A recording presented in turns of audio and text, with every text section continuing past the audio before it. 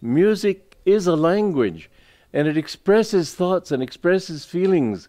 And anybody who just makes a pattern out of art is just not not doing art.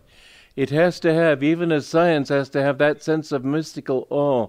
You have to have the feeling everything is not just a manifestation of consciousness, everything is an expression of consciousness.